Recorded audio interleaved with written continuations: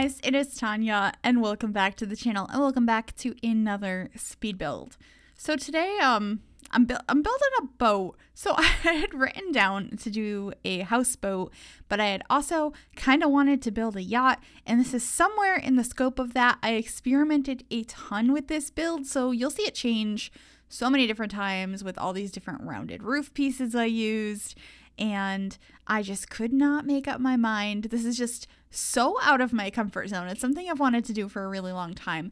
But because it's not, you know, a house or, you know, a lot I normally build, we don't actually have boats in the game.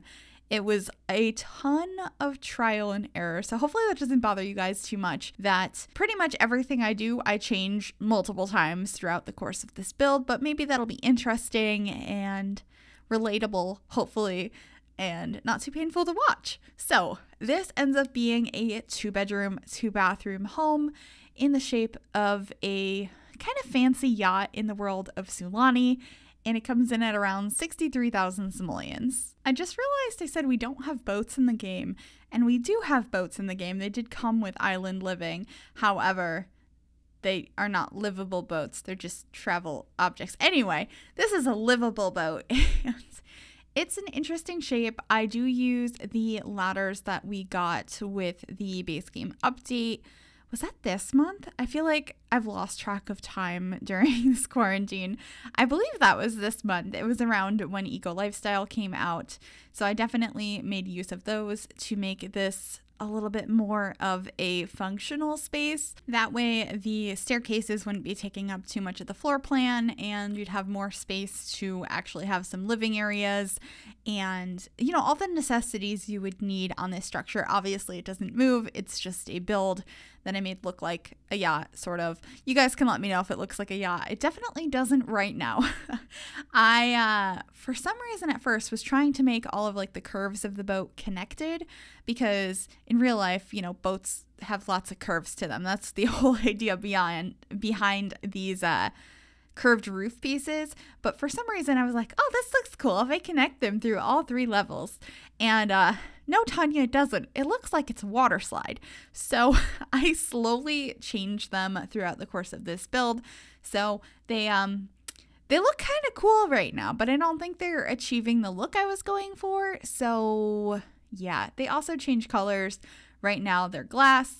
Later on, they're going to be like mixtures of like oranges and blacks, which ends up being the color scheme I go for for this whole build. It's the blacks and the browns and like the orangey brown tones that I love doing for more modern homes.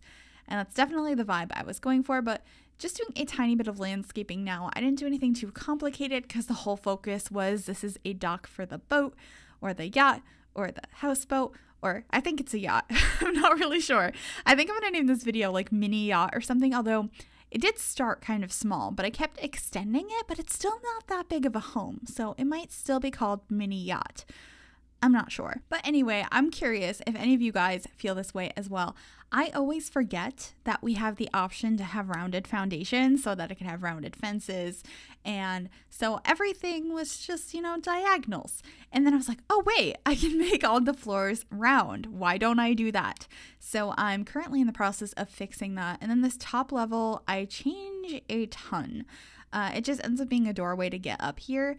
And I was getting really frustrated because at first I thought it would be really cool to put like a beach towel up there. Maybe like one person can go lay down and sunbathe.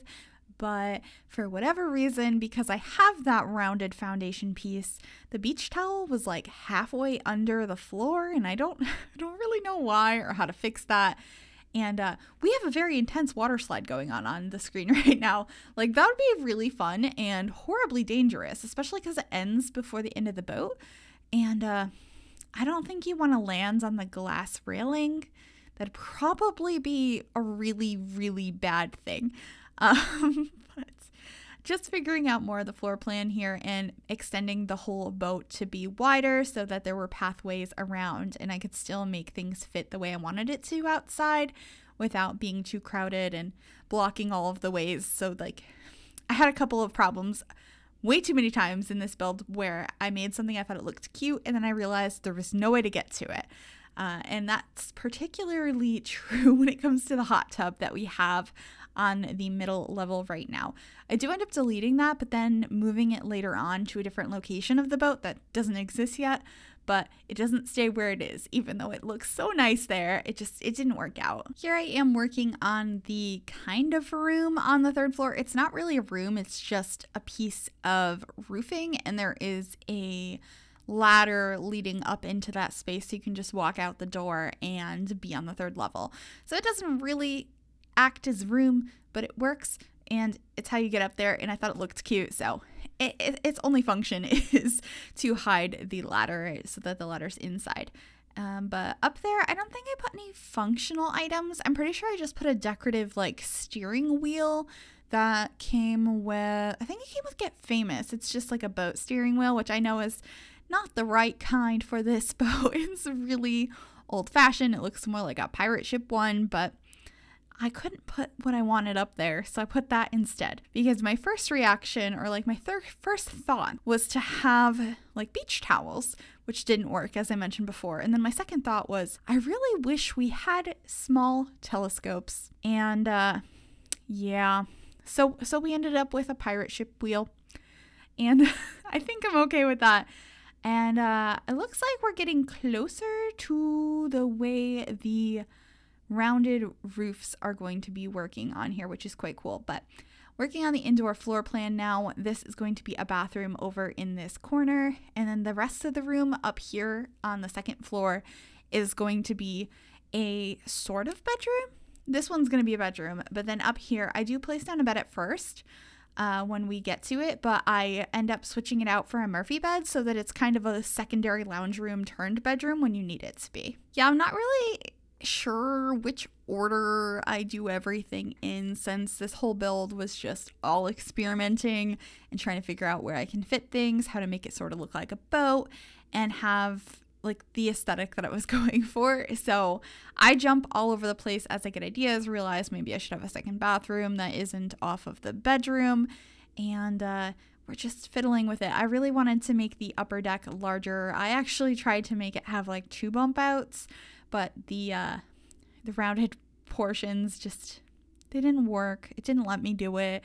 I was a little sad, but I cut all of that out because it was way too long of me just trying the same thing over and over again, somehow expecting different results, uh, which is not really how it works. But sometimes in The Sims it does. If you mess around with it enough, you can get things to work sometimes. But it didn't this time. But um, anyway, I switch where this lounge area is and where the lounge chairs on the upper deck are and everything a bunch of times because I just wanted to see what would fit best where and what things I wanted to prioritize having on this boat for your Sims to go ahead and enjoy. Because while this is technically a residential lot, I was kind of imagining it as what it actually is, which is a place that you can go take a vacation, you know, drive around or would it be called driving around on your yacht? I don't know, boat around and uh, enjoy your time here. So I didn't really want it to be overly cluttered or personalized. I just mostly wanted it to be decorated like this sort of fancy vacation boat. With that being said, it might not be the most accurate or have all the things that it should have because I personally don't have any experience with going on a yacht or a cruise or really any boat other than a steamboat that like brought you over a river and had nowhere to sit on it and didn't really have like an interior portion. It's just like all open. It's two levels outside and it's just it's like a little river cruise. And th- that's the only boat I've ever been on in my life. So it's nothing like this one, although that could be kind of fun to build at some point too. But I feel like I'd have to come up with some kind of activities to do on it. Maybe it could be a restaurant like a steamboat restaurant. That could be an idea.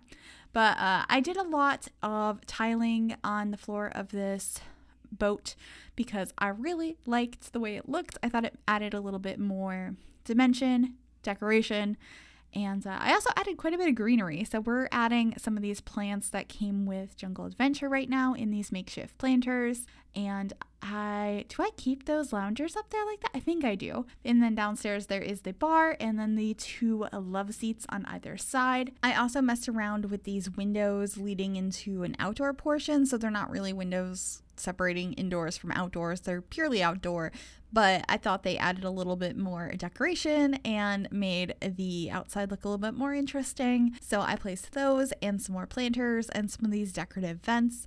And then I really enjoyed sizing up these, I don't know what these are technically called, maybe awnings, and putting those under the rounded portions of each floor. I thought it looked really cool. And of course, I had to use the string lights from Toddler Stuff. They are one of my favorite items in the game, and I just felt like they were just a perfect addition. Imagine being on this boat at night with the lights twinkling. I just think it would be so magical. So I needed to add a mailbox to this lot, and I also decided at the same time maybe there wasn't enough landscaping, so I'm kind of trying to add more of that to the beach area, as well as adding the mailbox and a couple of these oh my gosh, what are those called? Aqua Aquazips, I think, in The Sims is what they're called.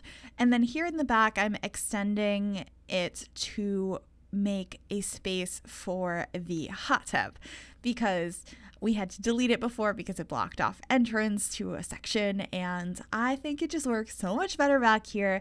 So I ended up placing it here. We have some lights, which I'm going to move in a little bit, but first I make an awning out of this low-lying fence and I just really like how this area came out. This is another place like at night with the twinkling lights. It would just be so nice. Your Sims, you know, could have a little bit of fun there. It's one of the woohoo locations on this yacht. You can woohoo in the hot tub or in the bed. I think that's it because I have the university shower, so you can't woohoo there, but you got the hot tub, so you're all good. Uh, but the outside of this is really coming together now. I'm very happy with how it came out. And then this is one of the two bathrooms. I figured having one that's kind of outside would be ideal so that when you're just hanging out outside, maybe you got back from a dip in the ocean or you're just like sunbathing, you're like, oh, I need to take a shower, I need to you know, tinkle or something. You got it right there. I also decided I should probably add a barbecue. That'd probably be a nice idea to have on here. So I just add this small one from, it's, ooh, I don't know what pack that one's from. Is that also from Toddler Stuff? No. Why would they add a top? I don't know what pack that is. Maybe I have no idea. um, but anyway, I added one of my favorite girls. I use that one quite a bit. I'm almost positive that is from Toddler Stuff, but if I'm wrong, please let me know. But uh, inside, we're working on the little kitchen slash living space. Upstairs ends up also kind of being a living space, and there's lots of outdoor living areas as well. But I wanted to have a dedicated chill zone on the interior of this yacht. Um, but over here is the kitchen. I thought about putting the stove and the fridge next to each other. But every time I've ever done that, you guys are like, no, don't do that. It doesn't work in real life.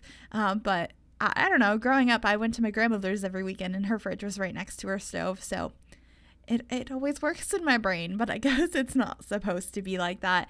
But I just kind of talked over the kitchen. I'm keeping everything in the decoration in here pretty simple because, like I said, it's supposed to be sort of a vacation home that you are hanging out on. It's not your everyday location. So uh, added a lot of these photos of water life that I thought looked so nice. And then we are upstairs working on the secondary living space slash second bedroom. I thought this room worked better as a room with a Murphy bed that could just be a hangout zone in general instead of it being solely a second bedroom because you would have to walk through it to get to this larger bathroom and also to climb up the ladder to get to the top deck. So I thought this could be a room that when people stay the night that don't own it, they could crash there, or maybe the kids crash on the Murphy bed, or something like that. I thought that was a cool idea. I also added an easel and a chess table, so there's some more activities to do. And that's pretty much it. We are coming to the end of the video. I hope you guys enjoyed this. I don't, I don't know if it's accurate, but I had fun building it. And I hope you guys enjoyed watching it. If you like this video, please give it a big thumbs up. You can also subscribe to the channel if you have not already. I'd love to have you join us. And if you click that bell, it'll turn on notifications to be notified of every single time I upload a new video. Thank you guys so much for watching, and I will see you all soon. Bye, everybody.